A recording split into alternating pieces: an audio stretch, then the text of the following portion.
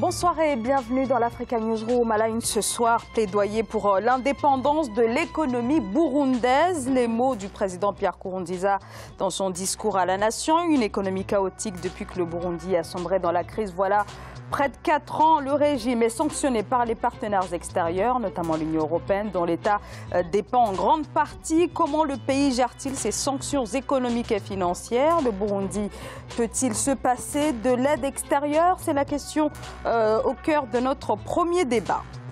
L'Angola sort-il la tête de l'eau? Les autorités se montrent en tout cas optimistes. Elles tablent sur une croissance non pétrolière de plus de 5% entre 2018 et 2022. L'économie angolaise qui depuis 2014 subit euh, les effets de la chute prolongée des cours du pétrole. Et puis un peu de légèreté en fin d'émission, de la mode avec le lancement de la collection Printemps-été 2019 du styliste camerounais Iman Aïssi, une collection en couleur à découvrir à la Fondation Mona Bismarck à Paris. Et pour en parler avec moi sur ce plateau, Monsieur Mahmoud euh, Alpha Boukanier Maïga. Bonsoir. Bonsoir. Vous êtes journaliste spécialiste du Sahel. À mes côtés également, Monsieur Barandiaï. Bonsoir. Bonsoir. Vous êtes consultant en innovation technologique. Et Monsieur Louis Kemayou. Bonsoir. Bonsoir. Vous êtes journaliste. Merci à tous les trois d'avoir accepté notre invitation. Et sans plus tarder, l'actualité politique.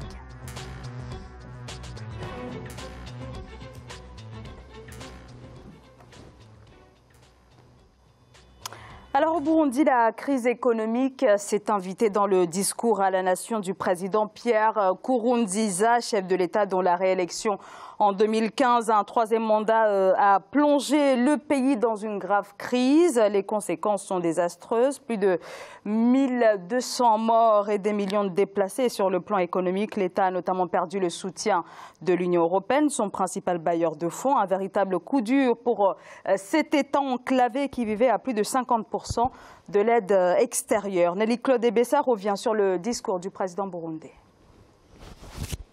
Dans son discours à la nation, à l'occasion de la célébration du 56e anniversaire de l'indépendance, le président burundais Pierre Kourounziza a incité ses concitoyens à travailler ensemble pour atteindre à terme une indépendance économique véritable. Chacun de nous devra se poser la question de savoir ce qu'il faut faire pour consolider cette indépendance. La réponse se trouve dans ce thème. Consolidons l'indépendance dans l'unité et l'amour du travail, source de développement. Nous devons travailler en synergie pour atteindre cette fois-ci une indépendance économique véritable et tous les atouts sont là pour y parvenir. Une indépendance économique réalisable grâce aux atouts présents dans le pays. Il s'agit notamment de sa population nombreuse et laborieuse, ses terres fertiles, son réseau hydraulique, du climat pluvieux et de divers minerais. D'abord, mobiliser la population autour du travail. En ce qui concerne l'agriculture, en ce qui concerne l'élevage, la lutte contre la corruption, euh, pour que justement ils puissent développer le pays. Nous devons nous-mêmes nous développer, pas attendre l'aide extérieure. Afin de mener à bien cette indépendance économique envisagée, le président burundais a mis en garde les dirigeants qui dilapident les deniers publics. Il les a par ailleurs exhortés à prendre des dispositions pour mettre fin à ces pratiques et à se montrer exemplaire. Alors, une allocution du président Pierre Kouroundiza axée sur la situation euh, euh, économique euh, du, pays, une économie mise à genoux déjà depuis euh, plus de quatre ans. Euh, voilà, ça coïncide avec la date de la réélection contestée du président Pierre Kouroundiza. Trois ans de récession. Le pays est sous sanction, notamment de, l'Union européenne, qui est son principal bailleur de fonds. Barandiaï, le Burundi est en train de, payer l'incertitude politique et, l'isolement du, régime euh, oui, quelque part, parce que le Burundi aujourd'hui, on sait euh, le président Pierre Nkurunziza a été réélu pour un quinquennat. Après, il y a le référendum qui va suivre. Hein. On ne sait pas ce qui va se faire.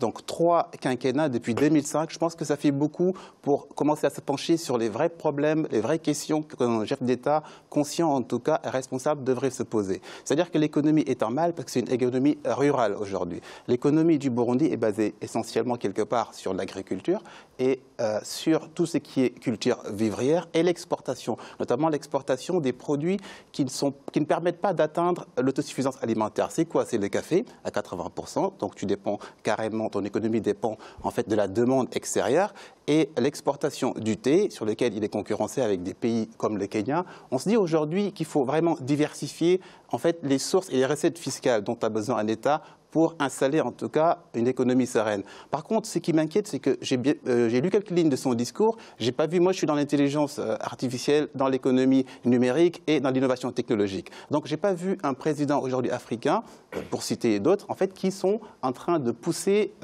leur population et leur ministère vers cette direction. C'est-à-dire qu'on parle d'économie, on parle toujours d'agriculture, c'est très bien, hein, parce que si un peuple ne mange pas, ça peut être problématique. On parle des produits à exporter, c'est encore mieux. Mais euh, l'Afrique est à l'ère aujourd'hui aussi, quelque part, hormis les matières premières, euh, les minerais, le pétrole et autres, à l'ère digitale, à l'ère numérique. Je pense que l'économie aujourd'hui du Burundi est un peu asphyxiée et a du mal à décoller.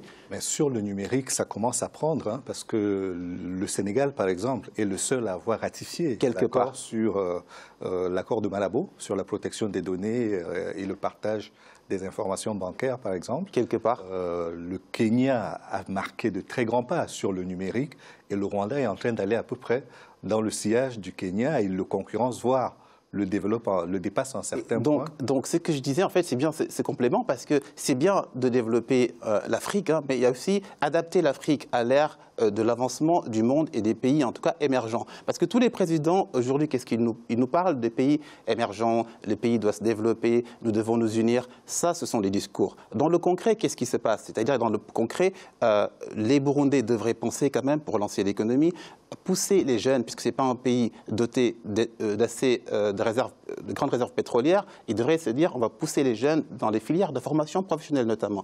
Quand on pousse les jeunes hors les filières universitaires, dans les filières de formation professionnelle, ça permet après d'aspirer à un emploi professionnel. Qui dit emploi, dit consommation. Et quand on consomme, bien sûr, l'économie, on, cotise en termes fiscaux et on augmente les, euh, la manne financière. On ne dépend plus vraiment de l'extérieur. Donc, produisons, le, Burundi c'est à peu près 12 millions d'habitants, c'est une grande population, de président l'a cité, produisons assez, consommons en local, exportons une quantité et puis dans les exportations, négocions aussi en faveur de l'intérêt du pays. Mm, euh, Mahmoud euh, Boukani euh, Maïga, est-ce qu'on peut véritablement parler de, cette volonté de, relancer l'économie en l'état actuel de, de la crise qui prévaut dans ce pays depuis 2015 Je me pose juste une question, comment ça se fait qu'il y a deux, trois ans, euh, ou quelques années, je n'ai pas les dates exactes, il y a eu cette histoire de tentative de coup d'État qui a déstabilisé un pays.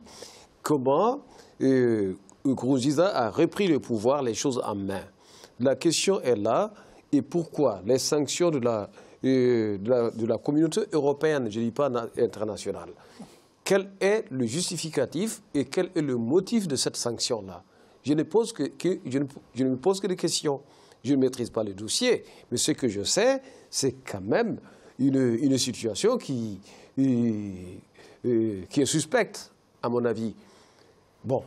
Euh, euh, les, sanctions de l'Union européenne? Oui, couper l'aide pour le développement. Alors l'Union européenne est claire.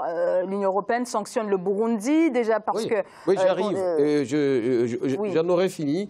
C'est que ce qui est sûr, le Burundi de, de quand il a repris les choses en main, a commencé à s'inspirer du modèle de, euh, de, de, son voisin, Paul Kagame. Le Rwanda. Le Rwanda. OK Et des distances et une, mise une, une, remise en place et une prise en main de ses propres affaires. Alors maintenant, moi, je me pose une question, je vous la renvoie. Alors, où en est-on dans ces histoires de, sanctions ou de suspensions euh, Louis, euh, si Louis me euh, peut me donner un coup, ou mon frère à, ma gauche, eh bien, j'attends, je n'attends que la réponse. Alors, le Burundi, un régime quand même contesté depuis plus de trois ans, 1200 morts, 400 millions, si on entre dans 4 millions de, déplacés. des morts, à travers le monde, on ne va pas dans un chemin droit vers l'économie, ni, ni vers l'économie. Non, c'est vrai qu'en termes d'insécurité, on peut trouver pire. Vous prenez les, les pays d'Amérique latine, euh, le Brésil, on n'en citera que deux, et ce sera largement suffisant. Vous prenez le Brésil, vous prenez le Venezuela, euh, les taux euh, de la mortalité Colombie. sont très importants. Si on remonte à la Colombie ou au Mexique, c'est pareil. Alors il y a toujours pire, bien évidemment. bien sûr. Il y a, il y a Oui. toujours pire. Mais ce que je veux dire, c'est qu'objectivement, nous sommes dans une crise politique qui a, qui a phagocyté les, les énergies au sein de ce pays. Quand vous comparez historiquement euh, le Burundi avec juste deux de ses voisins, la RDC et euh, le Rwanda, Rwanda, oui. vous vous rendez compte que il y a quelques années encore, c'est la RDC qui était en tête en matière de réforme sous Mobutu et qui avait réussi certaines prouesses qui avaient été saluées en leur temps. Puis le Rwanda est venu qui a changé la donne également à sa manière. Et aujourd'hui, on a le Rwanda, le, le Burundi malheureusement, qui est en, en- en- en queue de peloton en matière de développement.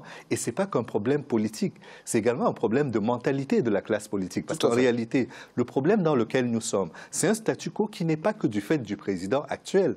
C'est un statu quo qui découle d'une interprétation beaucoup trop subjective des accords qui avaient été signés euh, pour sortir de la crise. Chacun estime qu'il est en droit de dire, sincèrement, trouver qui a raison ou qui a Mais- tort, c'est très compliqué. Quelque part, quelque part, le président a une grosse part de responsabilité parce qu'il est à son troisième quinquennat. Ça fait beaucoup pour mettre en place un projet politique C'est pourquoi je dis, je ne vais pas discuter cela, parce qu'en réalité, ils avaient dit élection au suffrage universel. Exactement. Deux mandats au suffrage universel. C'est ça. La première élection, ce sont les élus qui ont voté. Donc c'était un suffrage indirect. C'est ça. Et donc, lui- pour lui, on commence la comptabilité À partir de premier 2010, mandat. bien sûr. Et, et là-dessus, il a quelque part raison. Ses opposants n'ont pas tort de dire qu'il faut une limitation de mandat. Mais si on reste dans l'interprétation dogmatique de- des accords, euh, on, est, on a un vrai problème. Mais quand même là, son mandat, son excuse-moi, il se termine en 2020. Et en 2020, vous savez, il y a un Il a dit qu'il ne se présentera plus. Mais avant ça, il y avait le référendum qu'il avait essayé de faire passer. C'est pas passé pour rester Non, le référendum 2034. est passé, le oui, c'est référendum est passé, mais c'est-à-dire que le, verdict a fait qu'il y a eu beaucoup de déplacés, il y a eu beaucoup de morts. Ça, on le sait, on va pas le Mais le résultat, c'est que s'il voulait se présenter aujourd'hui, Mhm. sur le plan législatif, rien ne l'en empêche. Quelque part, Absolument. oui. Mais quand même, si En on a un projet. En, en termes d'observation des institutions euh, de son pays. Oui. Rien ne l'empêche de se présenter aujourd'hui. Oui, c'est la Constitution Ouais, qui la lui permet de Constitution faire. qui est- est Mais là. ce que je veux dire, c'est que ce qu'il y a de plus important, vous avez relevé euh, l'option numérique qui doit être véritablement aujourd'hui au cœur des actions de développement. Moi, ce qui m'inquiète, c'est la formation au, au Burundi. Vous- ça ne vous a pas échappé. Il y a une loi qui a dit que quand une fille tombe enceinte aujourd'hui, elle n'a plus le droit de retourner à l'école. Pareil pour le garçon qui est impliqué dans, dans cette grossesse. Exactement. Et ça, c'est un vrai problème. Parce que la seule issue qu'il laisse, Pierre Kourounzinza et sa ministre de l'Éducation, c'est que ce soit la formation professionnelle. C'est bien si on demande à professionnaliser l'enseignement et à faire que ceux qui ont perdu euh, leur route sur le chemin de l'école le retrouvent autrement pour se réintégrer dans la société. Mais sortir une loi comme celle-là, qui marginalise des enfants qui le sont déjà pour de multiples autres raisons, ça c'est très inquiétant. Parce que si on sont- rate ce ils sont cap-là, plutôt victimes de leur, de leur jeunesse et de leur manque d'ex- d'expérience. Les enfants n'ont pas cette expérience. et ils n'ont pas à être condamnés. C'est pour ça que Ah, quelque part, moi, je prends quand même pour la formation professionnelle, parce que ça laisse des dérivés après pour pouvoir entrer dans la vie active Mais et faut dans la pas société de obliger. consommation. Il ne faut pas l'obliger, effectivement. J'ai parlé d'un cursus universitaire, hein, qui est le classique. Il faut favoriser cette branche-là en mettant les experts pour accompagner cette jeunesse. Par contre, il n'y a pas que euh, les études scientifiques, techniques ou autres pour produire dans un pays. Le Burundi, on le sait, a euh, des, des frontières avec euh, le Rwanda et avec euh, la RDC. Et donc, il y a le lac, c'est la région des Gla- Lacs, le lac Tanganyika, qui lui offre une belle euh, superficie pour faire de l'irrigation, pour faire de l'agriculture, pour atteindre l'autosuffisance alimentaire et s'occuper des, des cultures rizières et autres de céréales. Donc ça, c'est déjà quelque chose qu'il faut, vers lequel il faut aller. Plus le numérique, hein, bien sûr, c'est mon, c'est mon, c'est mon notion favorite. Et du coup, passion, juste, ouais. exactement, Et quelque part. profession. Et du coup, et profession. Mais bon, je suis intéressé par beaucoup d'autres sujets. Comme Alors, euh, pour ce qui est de l'économie toujours, alors chacun de nous devrait se poser la question de savoir ce qu'il faut faire pour consolider cette indépendance. C'est ce que c'est ce qu'a dit le président Pierre euh, Dans son discours à la nation. Consolider l'indépendance économique. Est-ce qu'on peut véritablement parler euh, d'indépendance économique au Burundi dans la mesure où le pays ne survit qu'avec euh, l'aide de l'Union européenne? Mais justement, je rebondis là-dessus. C'est- le sens de la question que j'ai posée à mes deux confrères. Bon, la question, c'est comment, sous, mandat de, de, sanctions de l'Union européenne, première euh, fournisseuse d'aide, comment on peut s'échapper? Alors, ou c'est un complot de, de l'Union européenne en question, ou c'est une sanction, il va falloir que ça se soit dit, ou alors c'est une mise à l'écart d'un pays qui, qui, se débrouille comme tous nos pays, outre mesure. Bon, c'est quoi cette histoire-là? Condamner un régime qui est en place. mais c'est l'Union européenne, c'est pas l'Union africaine. non, je dis bien l'Union européenne. Je ne pas parler de l'Union oui, africaine. Oui, je disais juste parce que l'Union européenne l'a fait. L'Union européenne des pays frontaliers. Voilà. Euh, et alors, ben, l'Union européenne, qu'elle soit claire. Alors, il s'agissait de mettre la pression sur le régime de Bujumbura. Voilà. Euh, ça s'appelle de l'ingérence. Exactement. C'est pour cette raison. De l'ingérence. Merci, Louis. Et ça s'appelle de l'ingérence. Il faut l'affirmer, mais ouvertement, comme Mitterrand l'a fait il y a de cela quelques années, quelques décennies, le, devoir euh, le droit d'ingérence. Et que nous soyons face à, un système colonial qui sera discutable et dont nous avons le droit de parler. C'est de l'ingérence, je le répète. Oui, mais c'est l'Union européenne qui met son veto, qui met les pressions. Mais l'Union africaine existe, donc faisons un Alors l'Union africaine qui a quand même euh, fustigé à de nombreuses reprises oui, mais je veux dire, euh, le régime du président Pierre Nkurunziza. Quelque part, mais quelles sont les sanctions indiscutables. Quelles sont les sanctions et les menaces? Elles n'ont pas été sur la table. C'est-à-dire qu'on a eu des zones communautaires. Profitons de ces zones communautaires pour faire du commerce interafricain. Ça permet de dynamiser son, son économie. En attendant euh, que l'Union européenne enlève son... Mais si les manettes sont tenues depuis l'Europe, non, mais moi, je crois que dans, dans ce débat, on s'en sortira pas juste en faisant de l'incantation. Ce qui est certain, c'est que l'Europe est en train de faire de l'ingérence diplomatique dans les affaires intérieures et du Burundi et de nombreux autres pays. Et en parlant de souveraineté nationale des pays en question. Mhm. ça, ça, ne tient pas. Et donc, moi, je crois qu'ici, quand on analyse cela, supposons même que l'économie du Burundi, comme la plupart des économies africaines, soit une économie agricole quelle est la part que l'État peut prendre pour soutenir ses agriculteurs face à la concurrence internationale? Elle est nulle. Elle est complètement nulle parce que nous n'avons pas le droit de subventionner notre agriculture. Donc, à partir de là, quand tu es face à des Américains ou à des Européens qui subventionnent à outrance leurs agriculteurs, tu, es un nain. C'est David contre Goliath. Donc, il n'y a pas de compétition. Et à côté de ça, il y a les accords de partenariat économique qui sont en train d'être signés avec l'Union européenne qui feront que les produits européens qui sont déjà sûrs euh, subventionnés vont inonder le marché africain. C'est le cas actuellement. Et ça va tuer les, les, petites économies, les petits producteurs qui sont en train de sortir leur épingle du jeu tant bien que mal. Et donc là, la mentalité d'assistance qui est en train d'être créée à travers tous ces mécanismes-là, c'est cette c'est cette chose-là qui doit être combattue. Avant même de parler d'indépendance économique ou politique, c'est ça qu'il faut garantir. C'est-à-dire que nous devons être souverains pour dire la barrière douanière porte sur ça, Trump aujourd'hui, quand il dit America First, il ne dit pas autre chose. Hein. C'est ce qu'il est en train de pratiquer sur le continent américain. Et donc, je pense que pour les pays africains,